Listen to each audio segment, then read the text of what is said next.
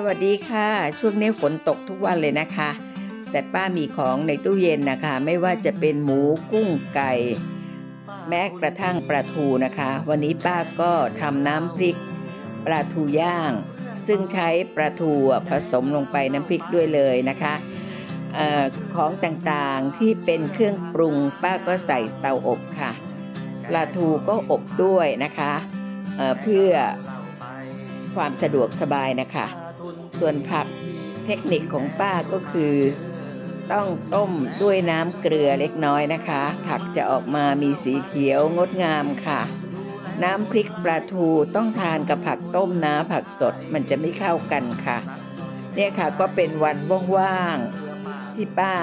ต้องอยู่บ้าน เพื่อที่จะหลบเลี่ยงจากอาการป่วยนะคะ เพราะฝนตกทุกวันเลยค่ะ ทุกอย่างต้องเตรียมพร้อมนะคะ ทานได้ทั้งเช้ากลางวันเย็น คนขยันอย่างป้าทุนดีก็ทำได้ทั้งสามมื้อละค่ะ อย่าลืมนะคะ อันนี้เป็นอาหารโบราณโบราณน่ะน้ำพริกปลาทูค่ะ